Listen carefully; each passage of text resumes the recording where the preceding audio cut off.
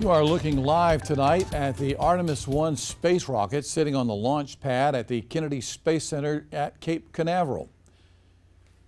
The Artemis 1 launch is now scheduled for Wednesday morning between 1.04 and 3.04 in the morning our time.